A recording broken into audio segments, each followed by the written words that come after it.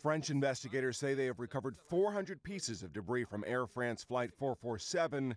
They say the wreckage comes from all areas of the plane, but aren't saying how much of the Airbus 330 they've pulled from the Atlantic Ocean. The head of the Accident Investigation Agency expressed a little more optimism that the find has narrowed the search for clues as to why the plane went down two and a half weeks ago. But so far, they haven't reached any conclusions. It is premature for the time being to say what happened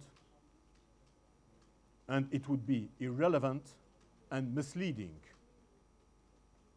to elaborate on uh, partial and from time to time erroneous facts. The plane went down in heavy storms while flying from Rio de Janeiro to Paris. 228 people were on board. The recovery of a body Tuesday brings the total to 50. Ships are searching a 50 mile radius for the plane's cockpit and flight data recorders. They emit a signal that will fade in about two weeks. It's one of the worst contexts ever known in an accident investigation. France's chief investigator expressed frustration that Brazilian officials aren't sharing information about autopsies done on the plane's victims. Investigators have said the autopsies could provide insight into what happened when the plane went down. Matt Friedman, The Associated Press.